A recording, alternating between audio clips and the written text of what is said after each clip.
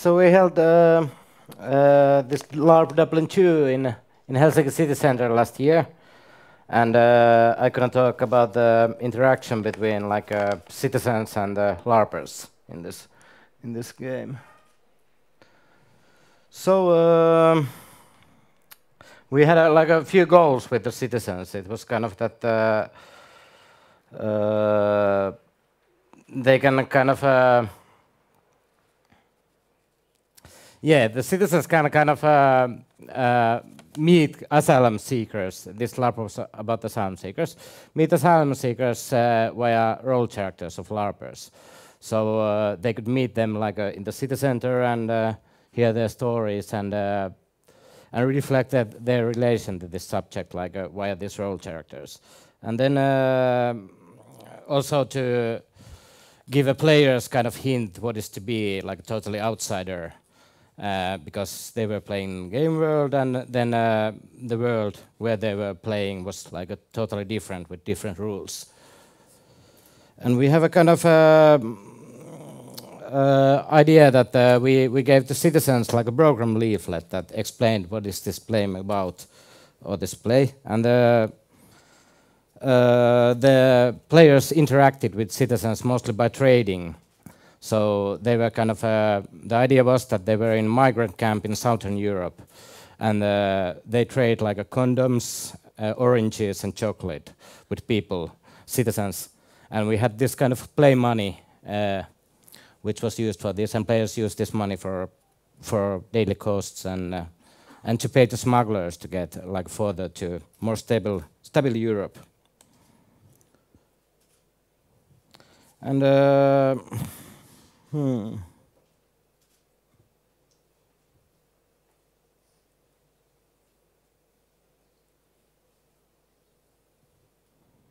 So uh, it was kind of uh, controversial for players. It was that many found it really interesting that they really in this. It was in the city center. They met kind of real asylum seekers who came passed by and we're asking what you're doing, and uh, the players told that uh, we are we are presenting you or, or something like this.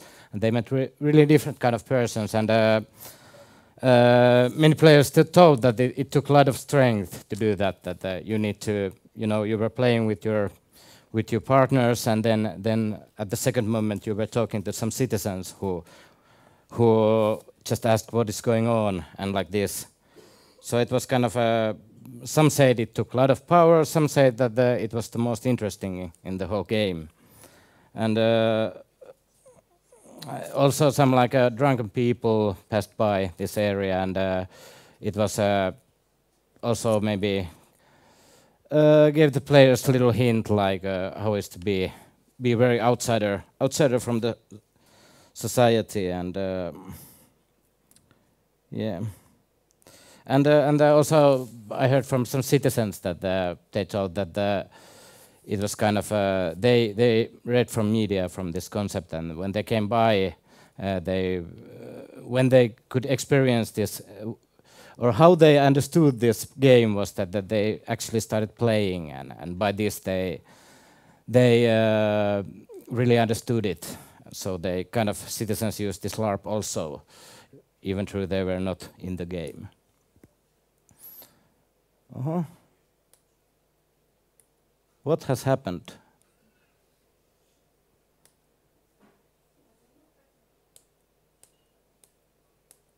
Okay, now I talk without slides then.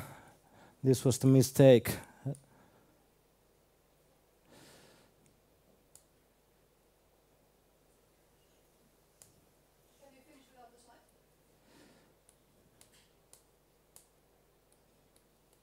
Yeah, I have to.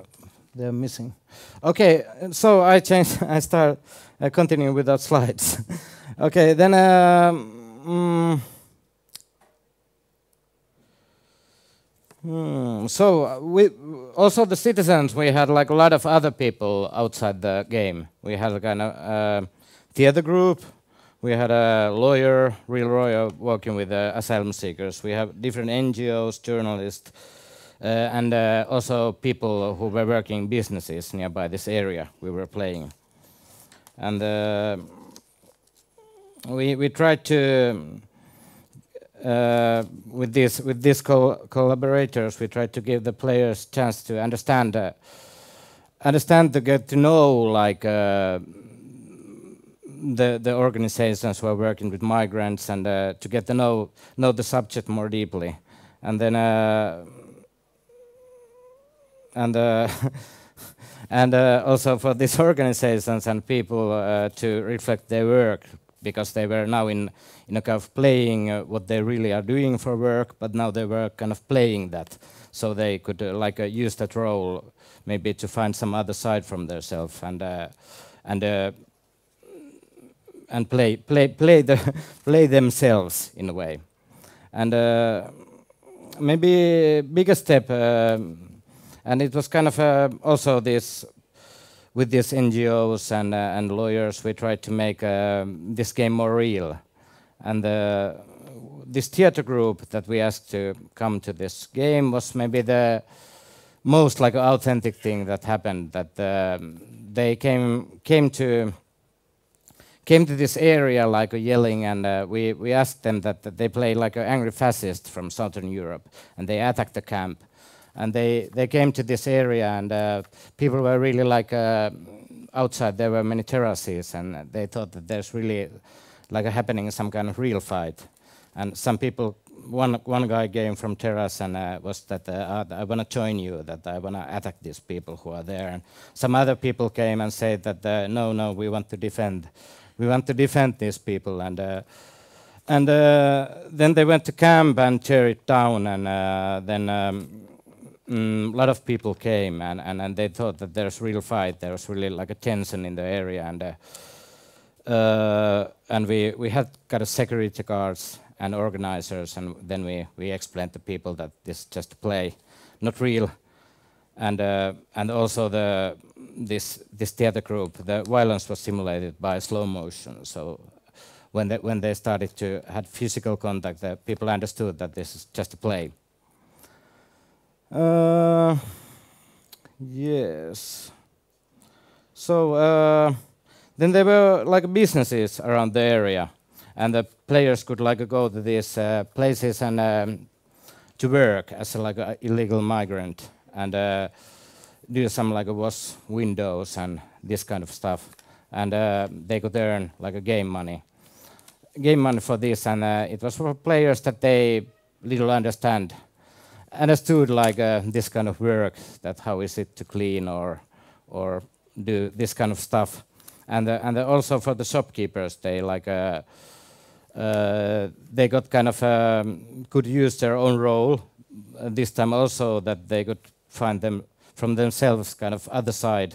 That the, for example, one shopkeeper was like uh, very angry, very rude, and he really maybe enjoyed that work that he could normally in work he couldn't do that, but now, now when he was LARPing in a way, he, he could do that.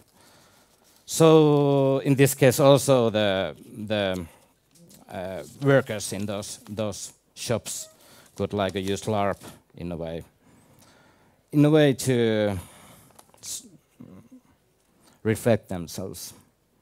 And um, then we had kind of um, NGOs like Red Cross, uh, volunteer for kind of uh, free movement network, which is kind of no border network in Finland.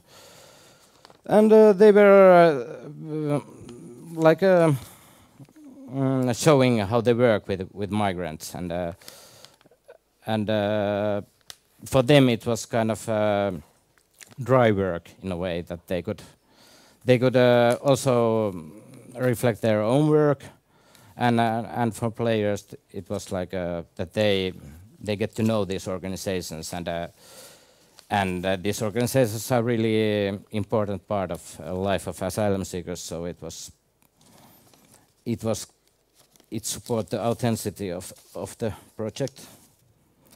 And then uh, then we had a uh, yeah this lawyer lawyer was very interesting because uh, he worked with uh, refugees lot, and we had kind of hearings of migration board and and this kind of stuff in the game. And uh, lawyer like um, he told uh, told that uh, he was really surprised how how uh, truthful the the characters were, and uh, he um, and I started to think that later that uh, it was interesting because uh, uh, he also said that he could reflect his own work, but uh,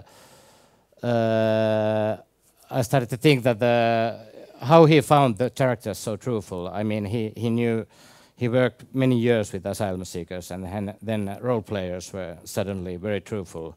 So, so I was thinking that was it that he went so deep into his like a normal role in this that the, he thought that that people who just studied their character one year and one year, one month or something could be like uh, real asylum seekers or I don't know. It was interesting, interesting like uh, thing in this getting into role.